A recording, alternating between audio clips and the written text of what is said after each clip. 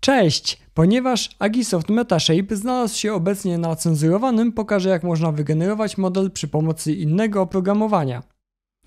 W tym przypadku nie wykorzystam zdjęć, ale wykorzystam sekwencję wideo, którą możecie również znaleźć na tej playliście i ją także wykorzystać. Mimo, że rozdzielczość HD jest mniejsza niż zdjęć, jednak y, wyciągając po jednym zdjęciu co 25 milisekund uzyskamy ich całkiem sporo, dzięki czemu model również będzie wyglądać całkiem dobrze.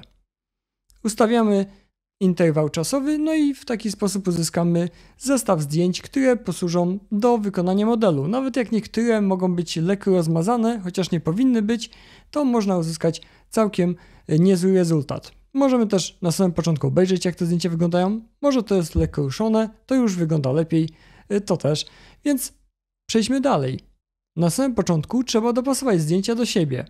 Z sekwencji wideo jest to dosyć łatwe, bo kroki były niewielkie. Ja robiłem co dwa kroki y, i filmowałem dookoła całą rzeźbę, dzięki czemu uzyskaliśmy podgląd punktów kontrolnych. To jeszcze nie jest y, sam model, ale najważniejsze punkty, dzięki czemu mogę ograniczyć obliczenia, żeby tej trawy dookoła ani innych elementów, które znalazły się na wideo, nie odtwarzać.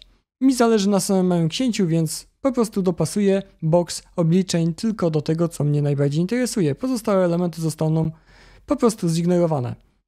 A wyliczone będzie dokładnie to, co chcę, czyli sprawdzamy na wysokość oraz szerokość, czy wszystko się mieści. Oczywiście dajemy pewien zapas, ale nie musi być duży. Ważne, żeby nie, do, nie kolidowało to z elementem rzeźby. Ok, jeżeli wszystko już jest gotowe, a według mnie tak, możemy wykalkulować model, czyli na podstawie zdjęć zostanie stworzony model trójwymiarowy, który wygląda tak. Może nie jest zbyt kolorowy, ale tutaj chodzi o kształt, a nie o teksturę.